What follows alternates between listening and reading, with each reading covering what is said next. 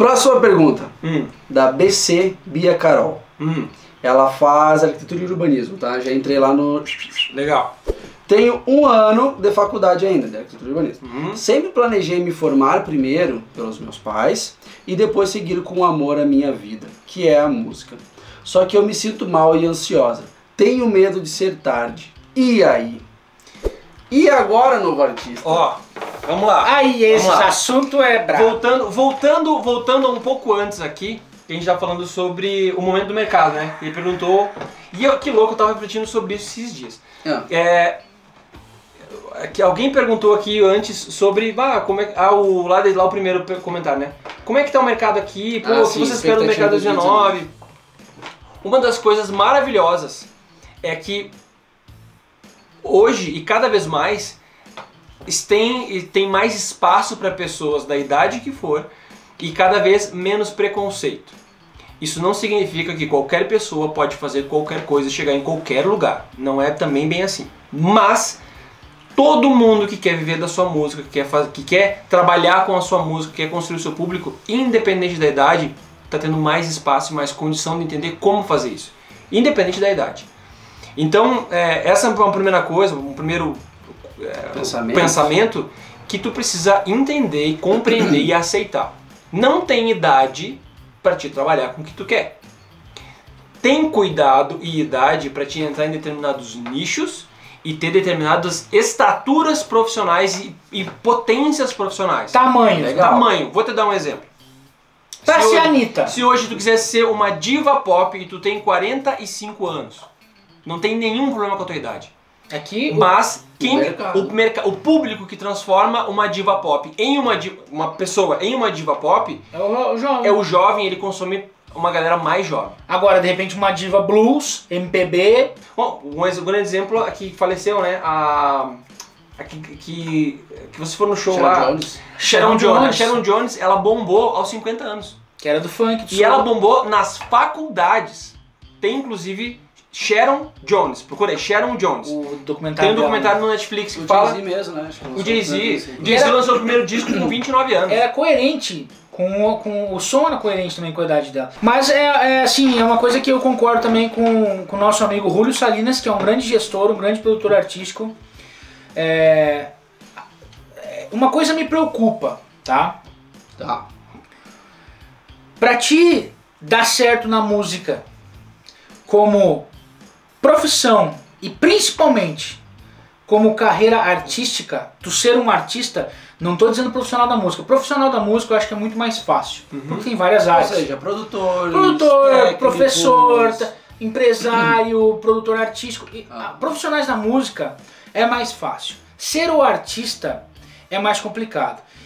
E aí eu penso assim, ó. Pra ser o artista, tem um momento da tua vida que tu tem que focar 100% em ser o artista. Não quer dizer que tu vai parar de trabalhar para ser o artista, não. Mas o teu foco é ser o artista. E aí eu- algumas pessoas elas vão adiando, tipo, depois que eu terminar a faculdade ou depois que eu que eu me estabilizar financeiramente. Uhum. Cara, eu, eu, eu boto na mesa isso. Quem quer ser o artista, aí entra o que o Fê fala, ele vai pagar o preço de ser um artista, mesmo que ele não esteja seguro financeiramente, mesmo que ele não tenha terminado a faculdade, ele vai dormir pouco, mas ele vai terminar a faculdade e vai ser o artista, ele não vai esperar para ser o artista. Então, assim, ó, quem. E aí, acho que tem exceções, tem vários casos. Vários artistas que a gente vê que, que realmente querem ser o artista front, cara, eles dão o sangue a hora que tem que ser para ser o artista. Se é agora no meio da faculdade, se é quando tá trabalhando. Então a questão é só uma reflexão, porque às vezes a gente vai deixando para depois, vai deixando para depois e aí não tem mais aquela energia. É. E quando a gente buscar o mundo ideal, ah, quando tiver o mundo ideal, vou ser artista. Se a gente tivesse esperado o mundo ideal para vir para São Paulo, talvez a gente estivesse em Santa Maria até hoje. É.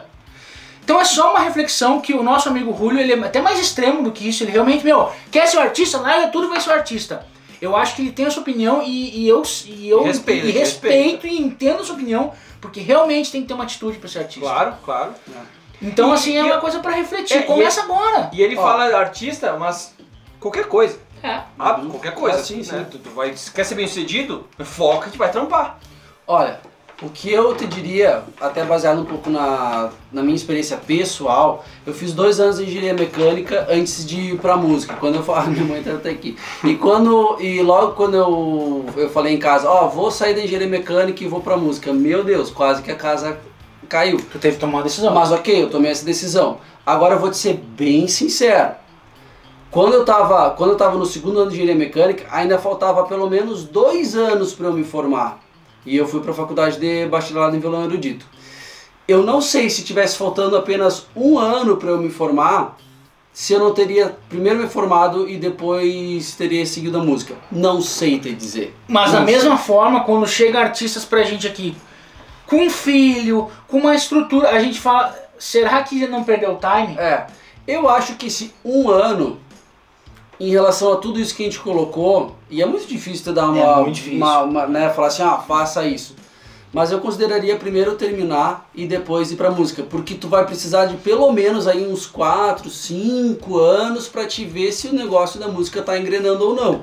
E aí É. tu volta, e aí se não engrenar, tu quiser voltar e treinar aquele um ano que tu deixou lá de, de arquitetura, talvez tu não tenha mais o pique. Então, a minha sugestão seria termina esse um ano, que ele não vai fazer tanta diferença assim, e depois A minha 100% na música. sugestão, a minha sugestão não é, a minha sugestão é termine esse um ano, mas comece agora o ser artista, porque tu pode começar, tu não, não precisa desistir da tua faculdade para começar a ser artista, tu pode continuar e aí que tá, aí é o preço, é dormir menos, Exato. É realmente.